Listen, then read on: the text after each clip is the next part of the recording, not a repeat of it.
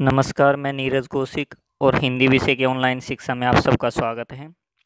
आज हम पढ़ेंगे कक्षा नौ की हिंदी की पाठ्य पुस्तक सिटीज़ का काव्यखंड का पाठ तीन, जिसके कवि है रस खान और इनके जो पद हैं उनका नाम है सवैयी रस खान के सवैयी आज हम पढ़ेंगे। तो ठीक है, शुरुआत करते हैं। पहले हम इनके जीवन परिचय के बारे में थोड़ा सा जान लेते हैं। रस खान का जन्म सन 1548 में हुआ माना जाता है। इनका मूल नाम सैयद इब्राहिम था और वे दिल्ली के आसपास के रहने वाले थे। कृष्ण भक्ति ने उन्हें ऐसा मुग्ध कर दिया था कि गोस्वामी विठल दास से उन्होंने दीक्षा ली और ब्रजभूमि में जा बसी।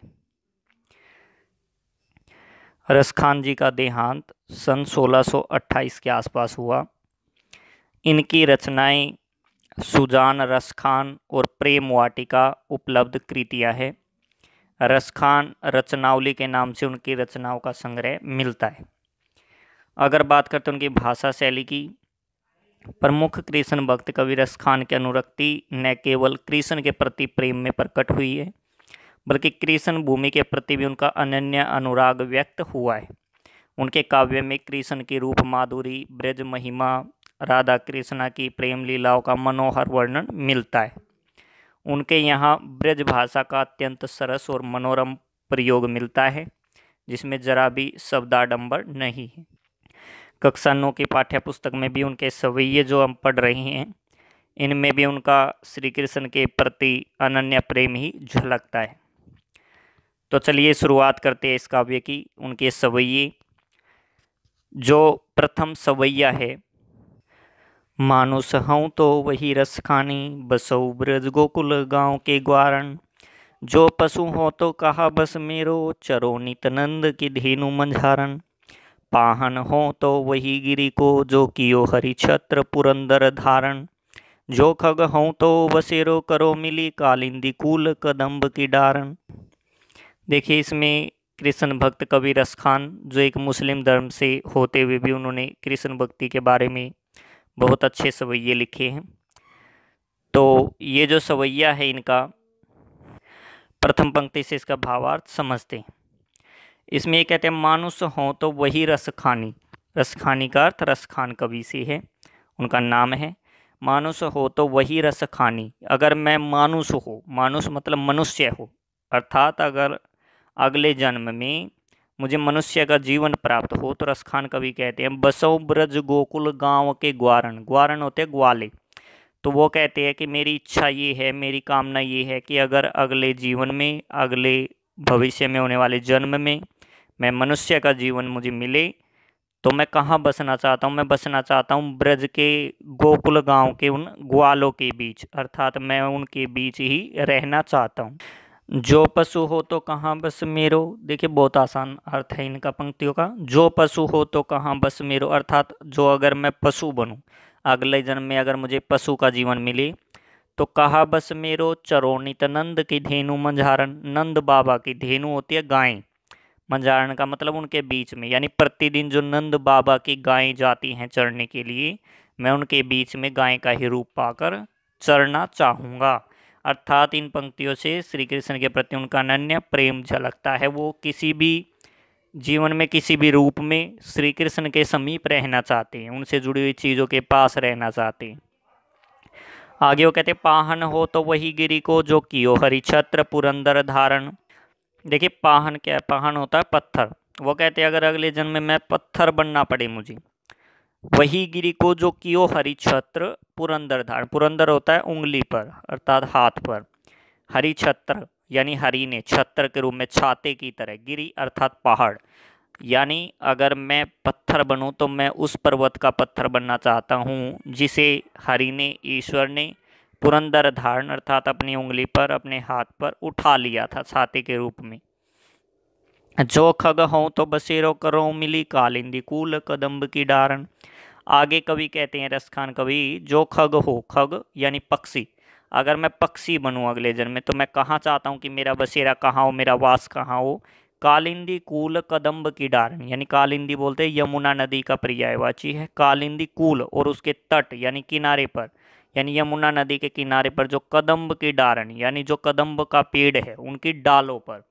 कहने का अर्थ यह है कि यमुना नदी के किनारे जो कदम्ब का पेड़ है, उनकी शाखाओं पर मैं अपना वास चाहता हूँ, अगर मैं पक्षी बनूँ तो। क्योंकि वो जो कदम्ब का पेड़ है, उसी के नीचे बैठकर जो है श्री कृष्ण बांसुरी बजाया करती थी। तो देखिए, इस पद्यांश में, सवैये में कवि ने क्या इच्छा प्रकट की है? वो कहते कि यदि मैं मनुष्य बनूं, प्रथम पंक्ति में वो कहते हैं, अगर मैं मनुष्य बनूं तो मैं ब्रज के गोकुल गाँव के ग्वालों के बीच रहना चाहता हूँ। अगली पंक्ति में वो कहते हैं, यदि मैं पशु बनूं अगले जीवन में, यदि मुझे पशु का रूप मिले तो मैं कहाँ चाहता हूँ? जहाँ पर प्रतिदिन नंद बाबा की गायें चरने के लिए जाती हैं, मैं उन गायों के बीच पशु बनना चाहता हूँ। पाहन हो तो अर्थात आगे वो कहते हैं, यदि मैं पत्थर बनूँ तो कहाँ बनना चाहता हूँ? कहाँ पर वास चाहता हूँ? यदि मैं पत्थर बनूँ तो उस पर्वत का पत्थर बनना चाहूँगा, जिसे श्री कृष्ण ने छाते के रूप में अपने हाथ पर उठा लिया था। और यदि मैं खग बनूँ, अर्थात मैं अगर पक्षी बनूँ तो मेरा वास कहाँ होना चाहिए? यमुना नदी के तट के किनारे के कदम्ब के पेड़ की शाखाओं पर वास चाहते हैं रसखान तो देखिए, अब इसका दूसरा सवैया है। या लकुटी अरु कामरिया पर राज को तजी डारऊँ, आठों सिद्धि नवोनिधि के सुख, नंद की गाय चराई बिसारऊँ। रस खान कबोवी नाखिन सो ब्रज के बन बाग तड़ाग निहारऊँ।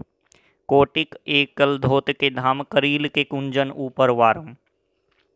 इसमें जो है, पहली पंक्ति में कविरस खान जी कहते हैं, या लकुटी अरु कामरिया पर, राज तिहूपुर को तजिडार। या लकुटी लकुटी होती है लाठी। जिस लाठी को लेकर श्री कृष्ण चलते थे गाय के साथ उन्हें चराने के लिए, अरु कामरिया, अरु का अर्थ और, कामरिया का अर्थ कंबल। पर राज तिहूपुर को, तिहू का मतलब तीनों, पुर का अर्थ लोक, तीन लोक जैसे हम बोलते हैं दुनिया में जो है। तजी का मतलब तज देना अर्थात छोड़ देना, त्याग करना, डारो। इसमें जो है कविरस खान कहते हैं, उनसे जुड़ी हुई चीज़ों के लिए श्री कृष्ण से जुड़ी चीज़ों के लिए कि अगर मुझे वो चीज़ें मिल जाए तो मैं उनके लिए कुछ भी छोड़ने को तैयार हूँ। वो कहते हैं, या लकुटी अरु कामरिया पर। अर्थात श्री कृष्ण की इस लाठी और कंबल पर तो मैं तीनों लोगों का राज भी, साम्राज्य भी अगर मुझे मिल जाए तो वो छोड़ने के लिए तैयार हूँ। आगे वो कहते हैं, आठों सिद्धि नवो निधि के सुख। देखिए, आठ सिद्धियाँ होती है और नौ निधियाँ कही जाती हैं वेदों में। तो ये कहते हैं, आठों सिद्धि नवोनिधि के सुख, नंद की गाय चराई बिसारो। अर्थात अगर मुझे आठों सिद्धि और नौ निधि भी अगर मेरे पास हो, इतना धन, इतना खजाना भी अगर मेरे पास हो और मुझे नंद बाबा की गाय चराने का अवसर मिले तो उनके बदले मैं उन सब चीज़ों को, अपनी आठों सिद्धि और नवनिधि को छोड़ सकता हूँ, त्याग सकता हूँ, भूल सकता हूँ। विसारों का अर्थ होता है भूलना। अगले पंक्ति में रसखान कवि कहते हैं रसखान कबो नाखिन सो, ब्रज के बन बाग तड़ाग निहारो। यानी आगे वो कहते हैं रसखान कवि कहते हैं कि, हे ईश्वर, कब मैं अपनी आँखिन सो? अर्थात मैं अपनी आँखों के माध्यम से, अपनी आँखों के द्वारा ब्रज की, उस ब्रज के उन वन बाग बगीचे और तड़ाग तड़ाग होता है तालाब, निहारों का मतलब देखना। अर्थात मैं ब्रज के बाग बगीचे और उन तालाबों को कब देख पाऊँगा जो श्री कृष्ण से जुड़े रहे हैं। अगली जो पंक्ति है, अंतिम पंक्ति इस सवैये की, कोटि के कल धोत के धाम, करील के कुंजन ऊपर वारों। कोटि का अर्थ होता है करोड़ों। कल धोत के धाम का अर्थ स्वर्ग जैसे या स्वर्ण जैसे महल, अर्थात सोने के बने हुए महल। अर्थात अगर करोड़ों सोने के बने हुए महल भी हों, करील के कुंजन ऊपर वारों, उन्हें भी मैं उन ब्रज की, करील की जो झाड़ियाँ हैं, उनके ऊपर वार सकता हूँ। जो श्री कृष्ण के समीप थी, अर्थात जहाँ पर श्री कृष्ण भ्रमण किया करते थे, वहाँ की उन करील की झाड़ियों के ऊपर भी मैं करोड़ों स्वर्ण महलों को छोड़ने के लिए या त्याग करने के लिए तैयार हूँ। तो यहाँ से इन सवैयों के माध्यम से जो रस खान जी की कृष्ण भक्ति के बारे में पता चलता है। अब देखिए, तीसरा पद्यांश है, इसका मोर पखा सिर ऊपर राखी हूँ, गुंज की माल गरे पहिरोंगी। ओढ़ी पितंबर ले लकुटी, बन गोधन ग्वारनी संग फिरूँगी। भाव तो वही मेरो रस खानी, सो तेरे कहे सब स्वांग करूँगी। या मुरली मुरली धर की अदरान धरी अदरान धरूँगी। देखिए गोपी जो है, वो अपनी सखी से कहती हैं, क्योंकि वह श्री कृष्ण से बहुत प्रेम करती थी सारी गोपियाँ तो वो गोपी श्री कृष्ण के रूप के प्रेम से वसीभूत होकर कहती है कि मैं उन जैसा ही रूप बनाना चाहती हूँ, मैं उन जैसी ही बिल्कुल बन जाना चाहती हूँ। तो क्या क्या करने के लिए तैयार हैं वो इसके माध्यम से बताया गया है सवैया में तो देखते हैं। मोर पखा सिर ऊपर राखी हूँ, कुंज की माल गरे पहिरूँगी यानी वो गोपी कहती है, मोर पखा सिर ऊपर राखी हूँ। अर्थात मैं श्री कृष्ण की तरह मोर का पंख अपने सिर के ऊपर रखने के लिए तैयार हूँ। गुंज की माल गरे पहिरूँगी। और वन के जो फूलों की माला वो अपने गले में पहनते थे, वो भी मैं पहनने को तैयार हूँ। अर्थात मैं उनकी तरह सिर पर मोर पंख भी लगा लूँगी और गले में गुंजों की माला भी पहन लूँगी। ओढ़ी पीताम्बर ले लकुटी बन गोधन ग्वारनी संग फिरूँगी। ओढ़ी पीताम्बर पीताम्बर अर्थात पीला वस्त्र ओढ़ी ओढ़ कर जैसे वो श्री कृष्ण ओढ़ते थे। पीले वस्त्र ओढ़ कर ले लकुटी ले लकुटी का मतलब लकुटी क्या था? लाठी। अर्थात उनकी तरह ही पीले वस्त्र पहनकर और लाठी लेकर वन गोधन ग्वारणी संग फिरूँगी। अर्थात गोधन का ध्यान रखने वाले, अर्थात गायों का ध्यान रखने वाली, ग्वारणी का अर्थ ग्वाल बालाएँ जो थी, यानी ग्वालिन, उनके साथ फिर भी लूँगी, यानी घूम भी लूँगी, अर्थात उन्हें चरा भी लूँगी। अर्थात मैं भी श्री कृष्ण की तरह पीले वस्त्र धारण करके और हाथ में लाठी लेकर गायों के साथ घूम लूँगी। भाव तो वही मेरो रस खानी सो तेरे कहे सब स्वांग करूँगी। रसखान कवि कहते हैं, वो गोपी कहती है कि भाव तो वो ही। अर्थात जो भी उन्हें अच्छा लगता था, तेरे कहे सब स्वांग करूँगी। अर्थात मैं उनके कहे, तेरे कहने पर वो सारे स्वांग, वो सारे श्रृंगार करने को तैयार हूँ, जैसी रूप सज्जा से वो रहते थे। या मुरली मुरली धर की, अधरान धरी अधरान धरूँगी। देखिए, इस पंक्ति का अर्थ बहुत अच्छे से समझने की ज़रूरत है। वो कहती है, या मुरली मुरली धर की। अर्थात या मुरली। मुरली का अर्थ बांसुरी। लेकिन ये जो बांसुरी है मुरलीधर की मुरलीधर श्री कृष्ण के लिए आया है।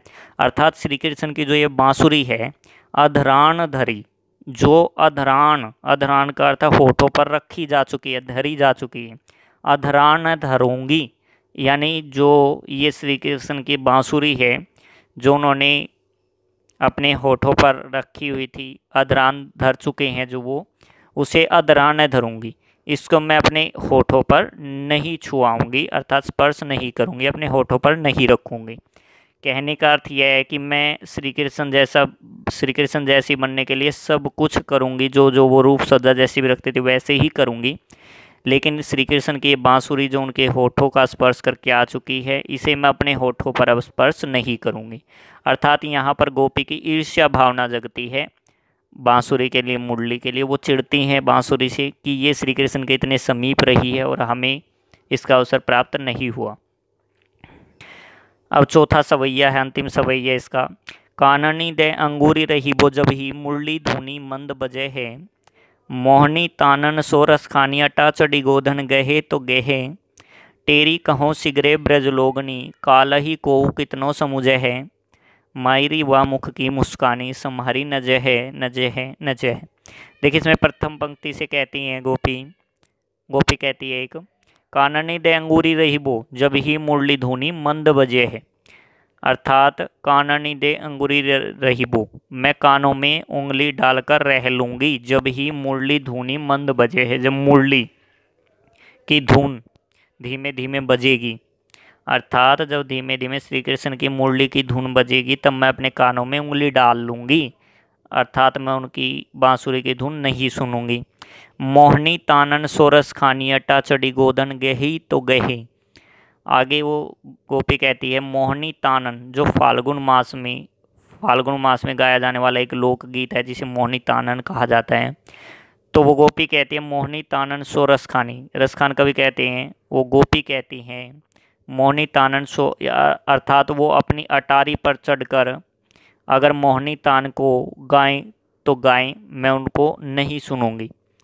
टेरी कहो सिगरे ब्रज लोगनी काल ही को कितनों समूझे हैं। टेरी का अर्थ होता है तेज आवाज़ में, पुकार कर कहना। वो कहती है, गोपी टेरी कहो सिगरे ब्रज लोगनी। सिगरे अर्थात सबको, ब्रज लोगनी, यानी ब्रज के लोगों को।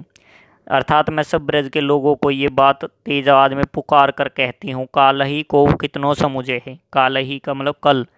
भविष्य में चाहे कोई मुझे फिर कितना भी समुझे है, अर्थात समझाए। मायरी व मुख की मुस्कानी सम्हारी नजह है नजह है। अर्थात मैं सब चीज़ों पर नियंत्रण रख सकती हूँ, परंतु हे मैया, वो मुख की जो मुस्कान है, अगर मुझे वो दिखी श्री कृष्ण के मुख की मुस्कान अगर मुझे नज़र आई तो फिर मैं अपने आप को नहीं संभाल पाऊँगी। अर्थात उनके मुख की मुस्कान देखने के बाद मेरी इंद्रियों पर मेरा नियंत्रण नहीं रहता। तो ये जो है इन सवैयों की व्याख्या थी, इनका भावार्थ था। उम्मीद करते हैं कि आप सबको ये पाठ अच्छे से समझ में आया होगा।